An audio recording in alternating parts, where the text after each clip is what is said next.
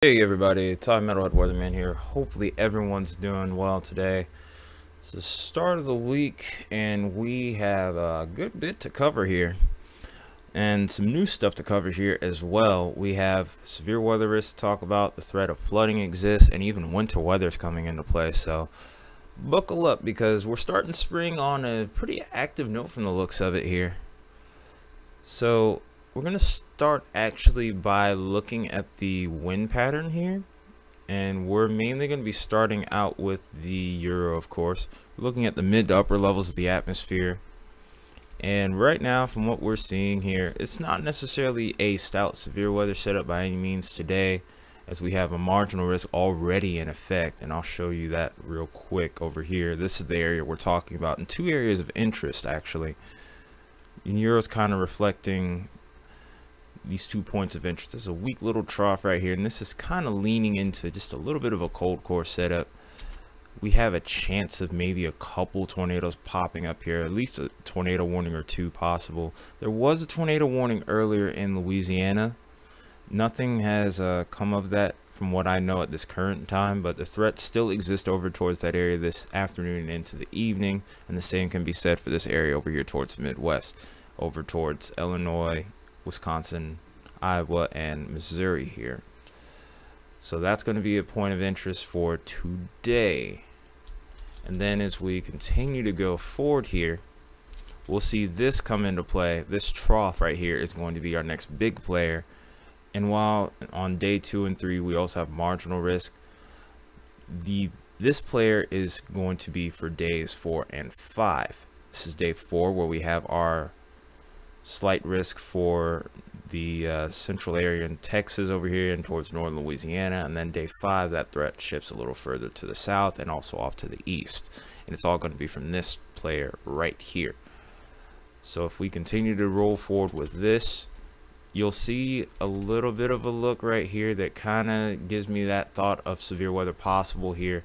But due to the forcing being so far back, the tornado threat's going to be rather minimal on Wednesday, on uh, Thursday, excuse me, at the moment. It's mainly going to be due to these storms more than likely being a little bit more on the elevated side. If you want something more along the lines of tornadoes, you want something a little bit more surface based and you want the forcing to be a little bit stronger like it would be over here, for example. But you got to have the other parameters coming together there as well. It's all it's always a game of timing with severe weather and you don't really and we don't really have that good timing for this as far as Thursday evening is concerned. Friday's a little better in regards to a severe threat. Do even see maybe some semblance of a shortwave going here, but we'll have to see how this plays out. The warm sector is also going to be a uh, key point of interest as well. If that moist sector and that warm sector push a little further to the north here, could have a much more concrete severe weather setup here towards, let's say, southern Missouri, Mississippi, not Missouri, southern Mississippi and Alabama, maybe even translating over towards southern Georgia and South Carolina as far as Saturday is concerned. After that front gets out of here, we do have to watch towards the north, maybe for some wintry weather. And then after that, we'll go ahead and see this next storm system come in. And this is right at the end of the model run. So while I can't put a lot of merit into it, it is something that we will be keeping an extra close eye on to see if we do need to worry about this a little bit more. If we make that comparison to the GFS, we're going to look pretty congruent starting out, but it's really going to be towards the back end of this run, especially as we start to start towards the back end of this weekend. We see a little bit of a difference here. There's not as concrete of a signal for severe weather on Friday although it does seem like this trough also progresses a little bit further to the east and also evolves a little faster too. So there may be a little bit of a discrepancy here on time. Both of these models came out at lunchtime so it's not so the time which these were released there's no discrepancy there. But the outcomes are a little bit different. And then of course we're also seeing this trough dig a little further to the south here. So depending on how this plays out could determine who gets snow who does or doesn't get snow over here towards the northeast. Could be one of the last big snow maybe even snow events in general. Can't say whether or not this one's going to be a big one just yet but it's definitely something I'm going to be watching with uh, uh, with an increased interest. As we continue to go forward, we're seeing pretty much a similar deal with the euro to the GFS starting out, but it's when we get past that 240 hour mark here, it's when we start to see a little bit of a key difference here. We saw a really stout storm system try to develop on the euro here by that time frame. GFS just doesn't really have that going right now. Of course, we have to watch and see how this evolves, but a big trough does end up developing towards the middle of the month here. And with that could come a pretty big cool down as we head into the middle and maybe towards the back part of the month. But what concerns me also is just as quick as that trough gets out of here, see some pretty big ridging come into play. And then two words that come to mind when I see this look right here, and it's trough ejection. Trough ejection is usually a term that's best associated with extreme weather, particularly severe weather during this time of year. So if this scenario plays out, and this is a big if because we're 300 hours out, we're closing in on 14 to 16 days out really so can't put a lot of merit into it. But if this does play out things could get pretty spicy especially towards maybe tornado alley. And this will be a heck of a start to tornado season. So keep an eye on this setup right now. If you're watching as we're as we continue to go forward we're going to be uh, up putting up an update every couple of days leading into this date if this trend continues. We're looking for continuity at this point not just one run. And then after that does look like we get into a little bit more of a fair weather pattern or slightly more fair weather pattern. We can still see plenty of rainfall but the severe weather setup isn't looking as stout as we get towards the end of this 16 day run here so like I said, a lot to keep track of here, especially towards the middle part of the month. But this is kind of what we were expecting. We talked about this a bit more on the outlook for the month and also the spring outlook. So since we have day four and day five severe weather outlook, we're going to go ahead and actually take a look at our moisture returns here. And we'll start out, of course, with the Euro. And the main thing we're looking for are these 60 degree plus dew points. Usually that's more than enough moisture, pretty ample moisture that we would need for severe weather development here. And you can already even see this for the uh, marginal risk days for uh, today, tomorrow, and really even into Wednesday. You see those 60 degree dew points kind of hanging around a bit. And they increase a bit more as we go into Thursday. A little bit of model discrepancy will be seen here between the GFS and the Euro for Thursday because here's what we're looking at when we get towards Thursday afternoon. Much more stout on the uh, dew points there further off to the south here. Towards the north, there's a little bit of an air of discretion here. Some of this doesn't quite make it as far back to the west here, but there's a little bit better look at the uh, moisture making contact, making a closer proximity towards that bound boundary here. So with that being said, GFS slightly shows a better look for severe weather right now for Thursday versus the Euro. But even then, even then, that being said, 60 degree dew points are still more than sufficient enough. 55 degree dew points is about the minimum. So we still see that here. It's just not quite as stout here. If we go towards the following day, if we go towards Friday and we'll watch this move off to the east a bit here notice that the moisture is staying a little bit more uh, contained off to the west here. And like I said, this is a variable component here as to whether or not we may end up seeing all modes of severe weather, maybe a linear mode towards the end of it as the system evolves, or mainly seeing a marginal risk. Euro's kind of pushing it mainly to the uh, east late in the evening, so the timing may be a key component once again with that there. Then eventually we may have to watch towards South Alabama, South Georgia, and then maybe in parts of South Carolina as well. In comparison with the GFS though, we have much richer moisture return then, and then this progresses a little bit faster. So if this occurs here, we may end up seeing a little something over towards South Georgia and more so South Carolina versus Alabama. So like I said, there's a lot of uh, there's a lot of um, parameters here that are kind of variable at this point, just based off looking at two of what's really many different models. So like I said, it's kind of a toss up as to how things are going to play out with the severe setup here. So best thing to do really is just stay tuned for further updates here. As we go further along though, as we get into the longer range here, eventually we do start to see some more moisture returns and we're probably going to see an even greater reflection of that on the GFS based off of the look that we were getting with those troughs and ridges. So we get towards the 240 range with that trough not really looking quite as impressive. We don't really uh, get that same kind of moisture return as we would get with that stronger system we were seeing with the Euro. But keep an eye on what happens after this point though clears out, we get a more stable pattern in the short term, and then eventually this storm system was around that 330 hour period.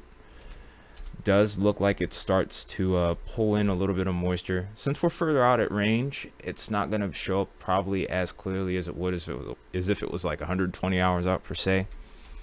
But definitely seeing a couple more um, notable signals for maybe some more active weather as we get towards the middle to end of the month here just kind of further hammering the uh, hypothesis, so to speak, that I had. So what we're going to do now is actually take a look at what our temperature anomalies will be like. And, and this is kind of a reflection of what we were seeing with that wind map with the ridges and the troughs here.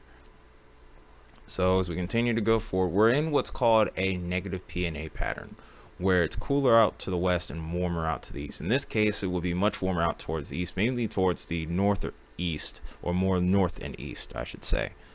Great Lakes could be seeing 30 to potentially even 40 degrees above average throughout the week here. So big time temperatures being shown there.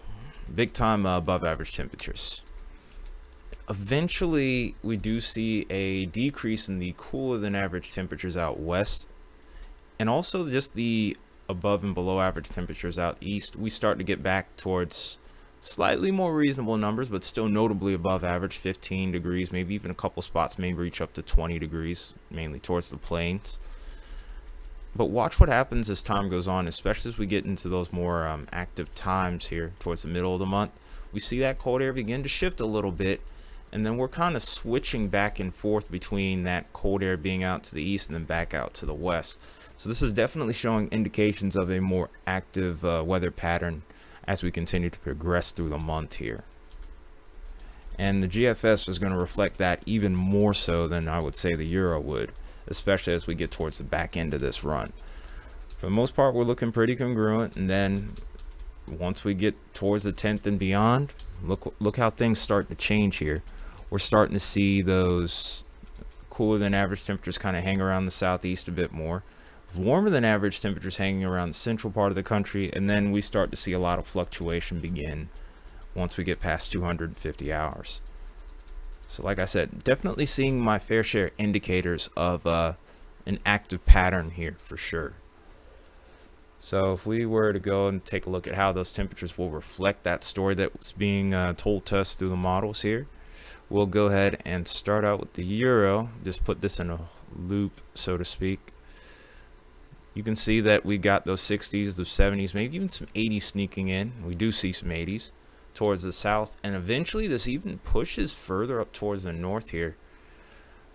There are even a few days where I can see those 60s even making it all the way up towards areas like Nebraska and Iowa here. So, like I said, I do see some indicators of maybe a more active pattern or an unstable pattern. Eventually, I think there's going to be some more stout storm systems to come as we go later on into the month here for sure. The temperatures are just one indicator. Really looking at the uh, upper levels of the atmosphere, the jet stream, are going to be the other key component here. Look at the GFS. It's not like we're seeing too much in the way of discrepancy there. Obviously, slightly different scenarios. The temperature uh, fluctuation may, as far as like the numbers are concerned, of course, that goes from model to model. But as you can see here, the uh, general motion that you're seeing from the loop is pretty much the same. So got to keep an eye out for those warm sectors, those moist sectors. Uh, maybe a uh, mid to upper level cyclone as well. You want details on that, feel free to ask me questions in the comments. So now that we've looked at all of that, let's go ahead and take a look at what our radar could look like, and then we'll get into the rainfall total, potential rainfall totals, maybe even some snowfall totals as well. So here's our first storm system coming through, and then here is our troublemaker that's likely to bring a little severe weather into play here. Towards the back side of this, we do get a little bit of snow, nothing major. And then, of course, you have to watch for that system towards the end of that 10-day period based off of what the Euro is showing us. Go to the GFS. We're showing a slightly different picture there once we get past the uh, 8 to 10-day period here. So there's there's our first couple systems here. Severe weather setup. Wintry setup, not looking quite as impressive. May linger a little longer. We go towards the middle of the month, may see a couple of severe setups possible there. Do have a shot at maybe another wintry setup there, and then after that, we may have to watch for a storm system towards the back half of the month here to go along with it. so the dates in particular, of course, we have Thursday and Friday, and then after that point, I would say right around the 15th all the way up until I would say the 20th, we have to we would want to be watching those dates in particular. So last thing we'll go ahead and do is look at what our precip could look like. And this is looking at both models here. Pretty good congruence for the most part. Maybe a little bit heavier rain further to the east here on the GFS than what the Euro is showing us. Keep in mind, this doesn't equate for precipitation type here. So some of this could be seen as snow over here towards the northeast. We will start out as rain though, so there that is also another thing to keep in mind here. I do think there's chances for lake effect snow here, just how much is still questionable at the time. This does better with uh, measuring rainfall versus snowfall, so we might switch over to a different um, parameter here in a minute. Also have to watch towards the northeast where we could be seeing a mixture of rain and snow at times. It's not uncommon to see that towards the northwest. And then, of course, towards the Gulf Coast where we have the heaviest precip possible there. So I guess now we'll go ahead and switch to winter precipitation here. So here we are looking at our winter precip and for the most part, like I said, mainly going to be towards the northwest where we have the most action and towards the Rockies especially the northern share of the Rockies where we could see feet of snow possibly. Maybe up to two feet in some areas. Could be greater totals towards the northern end of the uh, Sierra Nevadas. And then of course over towards northern Maine just off the Great Lakes here especially Lake, Lake Erie. We might see a little bit of increased activity in winter precip over the course of the week. And then also towards northern New England we may get into the action there as well. It's pretty much being reflected on both the models here and really even a bunch of others at this point. So we could actually go ahead and compare the model loop here. And everything that's in range here is pretty much showing the same things. Again, this is the Euro. This is the Canadian model, pretty much showing a lot of congruency. And then also the sneaky little area to watch over here is going to be over towards Nebraska where we could see some activity. I think that's going to be more so towards that 240 hour period. And GFS is kind of showing the same thing along with the icon as well. So last thing we'll go ahead and do is take a look at the blend of models and we'll go ahead and call this one a video here. And the interesting thing to make note of here is there's still a little bit of uncertainty in regards to said blend of models, at least in the short range for Nebraska. Everything else pretty much looks congruent with all the other models here. And just to let you know, the National Weather Service blend of models is usually a blend of all the models, basically putting together put together into one, and usually coming up with a mean average here. So I do find it interesting that we have enough discrepancy to a point here where we're getting trace amounts of snow and everything else is showing slightly more aggressive snowfall totals over here towards central Nebraska. So a little bit to keep in mind there in regards to winter forecasting over there. If you're interested in snow over towards central Nebraska or if you're not interested in snow you just want to keep an eye on this nonetheless. But that being said that's all I got for this video here. Hope you guys enjoyed it. If you did you know what to do. Make sure you leave a like and a comment. Hit that subscribe button if you're new around here. And stay tuned. Make sure you get that bell on as well But I'll see you guys in the next video. You guys have a great rest of your Monday. Till then, take care. Have a good evening. Tai Metalhead Weatherman signing off. Have a good night.